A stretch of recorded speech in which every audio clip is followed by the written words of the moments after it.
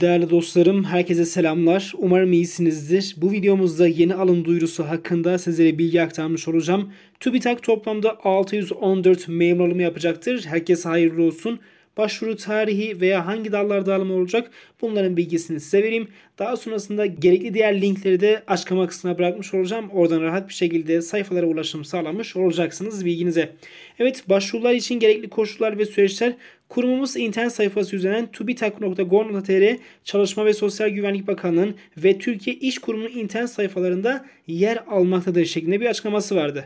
İş başvuruları ise TÜBİTAK iş başvuru sistemi üzerinden sizler başvurunuzu gerçekleştirmiş olacaksınız. Şu an ekranda görmüş olduğunuz üzere zaten ben bu linki de bıraktım. Oradan rahat bir şekilde başvurunuzu yapmış olabileceksiniz. Size uygun olan başvurular varsa yine başvurunuzu yapmış olabilirsiniz arkadaşlar.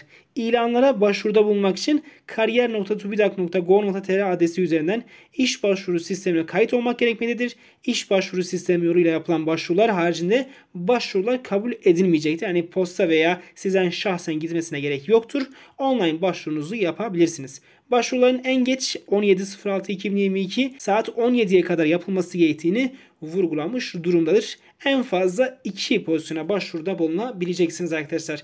Evet hangi dallarda alım olacak? Kısmi süreli aday araştırmacı, elektrik, elektronik mühendisi, makine mühendisi, kimya mühendisi, endüstri mühendisi, bilgisayar mühendisi gibi bölümlerden mezun olan kişiler Ankara ve diğer illere de başvuruda bulunabilecektir varsa başka iller. Veya bunların dışında yine araştırmacı alımı olacak. Yine elektrik, bilgisayar, elektrik, bilgisayar bilimleri, yine elektrik, elektronik mühendisliği gibi dallarda farklı farklı yerlerde alımlar mevcuttur. Bilginiz olsun. Bunun dışında farklı alımlara baktığımız takdirde teknik ve destek personel demiş olduğu iktisat, ekonomi, işletme, yönetim bilişim sistemleri, kamu yönetimi veya bunların dışında yine farklı bünyelerde alımlar gerçekleştirilmiş olacaktır. Bilginiz olsun. Buradaki yine birim kısmına, ilan numarası kısmına, referans koduna dikkat etmiş olun arkadaşlar. Zaten ben linki açıklama kısmına bırakacağım. Oradan rahat bir şekilde tüm hepsine bakmış olabileceksiniz.